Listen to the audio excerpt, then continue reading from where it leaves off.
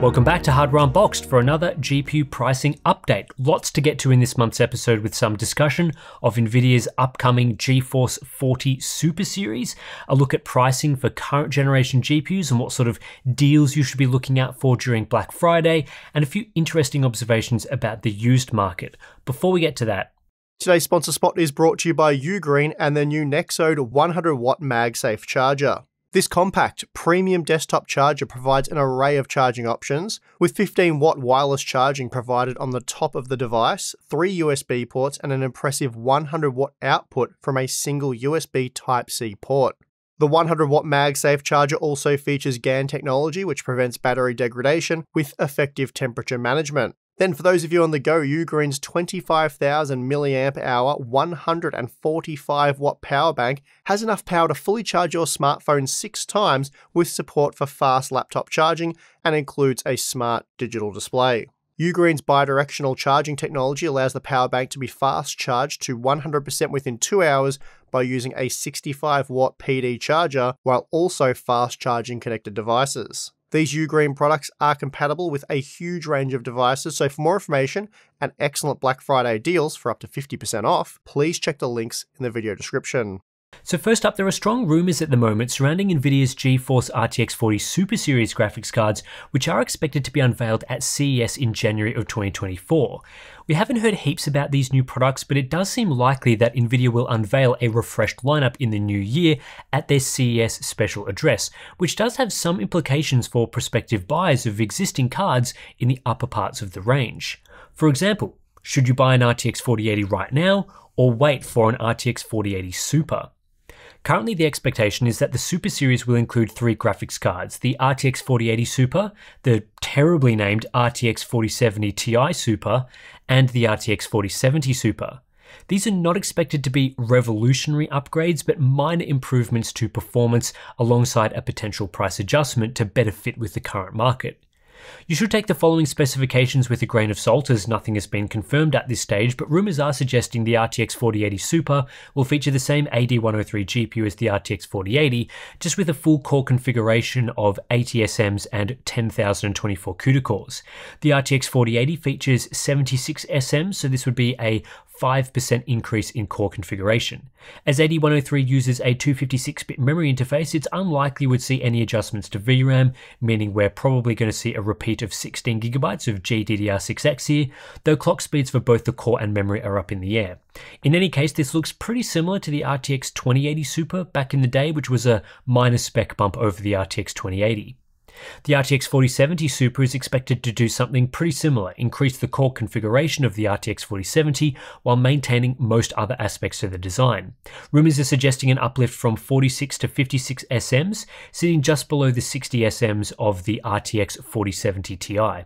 This would be a rather substantial 22% CUDA core increase, although we'd still be looking at just 12GB of GDDR6X memory on a 192-bit bus. In our testing, the RTX 4070 Ti is around 25% faster at 4K than the 4070, so the new supermodel would look to close the gap there and almost end up as a slightly slower replacement for the 4070 Ti. The most significant upgrade is being suggested via rumours for the RTX 4070 Ti Super, a bizarrely named but honestly much needed graphics card given the underwhelming configuration of the 4070 Ti. It's being suggested the 4070 Ti Super will move to AD103, up from AD104, giving access to a 256-bit memory bus and 16GB of GDDR6X, a much needed improvement over the 12GB VRAM configuration the $800 4070 Ti shipped with. It would be a cut down version of AD103, currently expected at 66 SMs, down from 76 on the RTX 4080, but we'd be looking at a 10% increase in CUDA cores on the 4070 Ti, along with more memory and higher memory bandwidth. The most important aspects to these products will be the prices, especially the RTX 4080 and 4070 Ti launched with poor pricing. Nvidia has a chance to correct things here, although we don't have any great insight into what these products will end up costing. Given relatively weak sales of the 4080 and the minor expected uplift for the supermodel, I'd be expecting the 4080 Super to drop to more like $1,000 US, allowing it to better compete with the Radeon RX 7900 XTX, which is typically priced around $950 and offers similar performance to the current 4080 in rasterization. The RTX 4070 Ti Super has the potential to be around 15% faster with more VRAM compared to the 4070 Ti, if rumours are to be believed, so a relaunch at a similar price would make sense. The nearest competition from AMD is the Radeon RX 7900 XT, which is typically priced between $750 and $800 US and offers similar overall performance as seen in our 50 game benchmark. At $800, the 4070 Ti Super would offer a more appropriate level of VRAM in this price tier and deliver very competitive performance. Meanwhile, for the RTX 4070 Super, this card is likely to receive a decent performance uplift relative to the 4070 and close the gap to the 4070 Ti. Nvidia has already dropped the 4070 to between $500 and $550 over the last few months in response to the Radeon RX 7800 XT, so it would make sense for the new model to debut at the original MSRP of the 4070, so $600 US. These are all just guesses on my part, assessing the rumored specifications, current market positioning of other models, and how Nvidia likes to price graphics cards. The actual pricing, though, is unknown and we just won't find out until launch as these things can change just days ahead of the announcement. With this in mind, there's the question of whether you should purchase an RTX 4080 or 4070 series graphics card now or wait for the new supermodels. In my opinion, unless you get an extremely good deal on one of these cards during Black Friday, I would wait. The RTX 4080, for example, is $1,100 US at the moment. That's no different to what we've seen over the last six months, and I just wouldn't consider that model unless it was a decent amount below $1,000 to counteract the potential of a $1,000 RTX 4080 Super. The RTX 4070 Ti is very difficult to recommend and would very much be a wait and see what the 4070 Ti Super brings sort of situation. The low amount of VRAM and still reasonably high price, around $740 US at the moment, just isn't very tempting. Again, unless that was much lower, I'd wait for January. There's a decent possibility you will get a better product at a similar price, or will be able to grab the RTX 4070 Super for something similar at a lower price. The RTX 4070 is probably the best of the three to grab right now, but even then, I wouldn't want to pay more than $500 US for it considering the current market. If you see a Black Friday flash sale below $500, that would be a decent position. Otherwise, I don't think there will be much harm in waiting a little over a month to see what Nvidia has in store at CES 2024. As for the rest of Nvidia's lineup, pricing is coming down for some models across Black Friday, but it's important to be on the lookout for genuine deals as opposed to mere price adjustments. For example, the RTX 4060 has been listed at $290 as a Black Friday deal on Newegg, but the lowest price for this model across the six months prior to November has been $280, so that's not really a deal at all. However, cards like the 4070 Ti, 4070 and 4060 Ti have all received respectable discounts and now sit at their lowest prices. With that said, I don't think many of these discounts are currently what I'd class as a great deal based on various factors like performance, capabilities, competition, and upcoming products. A great deal on the RTX 4060 would be $240, given you can currently purchase the slightly slower Radeon RX 6650 XT for just $220 US. Current deals of $290 just don't do it for me, and this affects what I would class as a deal for the 4060 Ti as well. The RTX 4070 is getting pretty close though, again below $500 would be decent. The RTX 4090 is currently experiencing a shortage due to upcoming sales restrictions into China, so these cards are priced well above MSRP if you can even find one. If you do manage to snag one at MSRP, that would be a great deal. For the Radeon RX 7000 series, there are a few models currently discounted to their lowest price across the last six months, such as the Radeon RX 7900 XTX at $910 US. That's a good price, but it's not even a 10% discount over the MSRP from a year ago, so a great deal would have to be lower than that in my opinion. Like with the RTX 4070 Ti, I also believe a suitable price for the 7900 XT would be about $650 given impending launches and other factors. With AMD's mid-range models, the 7800 XT is currently not discounted at all, and it was only recently released, so a minimum 10% discount would be reasonable if you're looking for a deal. The RX 7700 XT is around 16% slower than the 7800 XT at 1440p, so its horrible MSRP of $450 should be more like $420 to begin with, and then a discount down to $370 on top of that is where I'd get interested relative to current 7800 XT pricing. This is also because the RX 6800 can be currently had for just $380, which is a similar performing GPU with more VRAM. So the 7700 XT would have to slot in below that to make any sense in the current deals market. Then there's the RX 7600. $240 isn't a bad deal, but given pricing for some RDNA 2 models, I'd like to see a further $10 shaved off, especially as $240 is only $10 lower than last month's price. There's also Intel Arc GPUs, which haven't been discounted compared to last month as of yet, but with a small price drop, something like the A750, if it got to around $200, that would be some pretty serious compelling value. There are still older series graphics cards on the market as well, so let's see what is happening with the GeForce 30 series. Four of the five models available have hit new low prices at this point in November, the exception being the RTX 3070, but the level to which these are deals is questionable. The RTX 3050 is just $10 lower than last month, which is hardly a special Black Friday deal, and it's just not a very fast product either, coming in 20% slower than the Radeon RX 6600, which has regularly been seen around $180 US. I couldn't recommend this model above $140, so there's still a fair bit of discounting necessary there. The RTX 3060 is also at a new low of $250, but again, with Radeon competition, I think a great deal on this card would be more around $210. The 3060 Ti is pretty close to a great deal right now, priced at just $300 US, matching the price of the 6700 XT, which offers similar performance, though admittedly more VRAM.